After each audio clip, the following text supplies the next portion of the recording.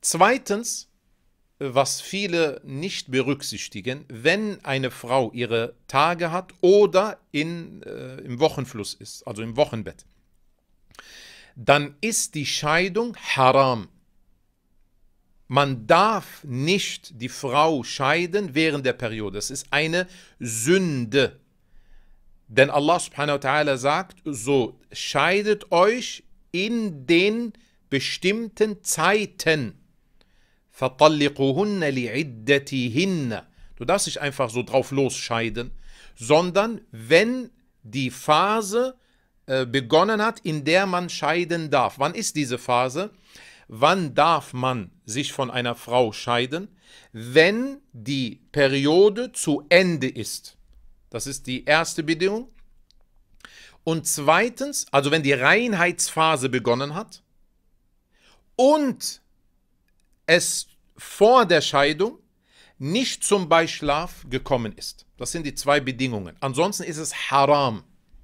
Ist es nicht erlaubt. Ist eine Sünde. Warum hat das Allah subhanahu wa ta'ala so festgelegt?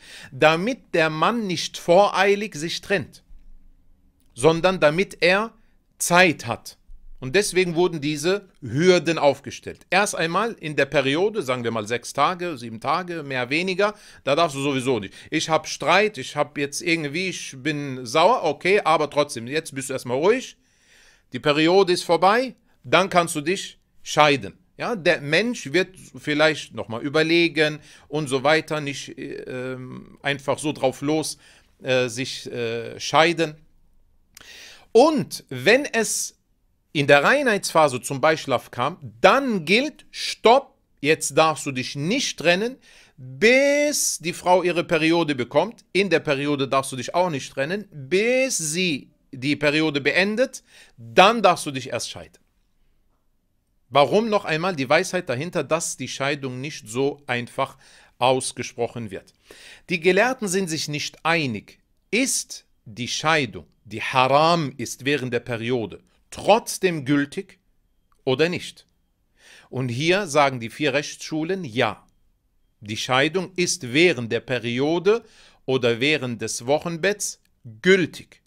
Ibn Uthaymin und Ibn Baz und Ibn Taymiyyah und viele andere Gelehrte sagen nein, sie ist nicht gültig.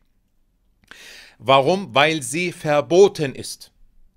Und das ist ein Bid'ah Talaq, wird das genannt. Talaq Bid'i. Es gibt Talaq Sunni und Talaq Bid'i. Ein Sunna Talaq, also gemäß der islamischen Regeln, also nicht während der Periode, nicht nach Beischlaf, bis erst wieder die nächste Periode beginnt und endet.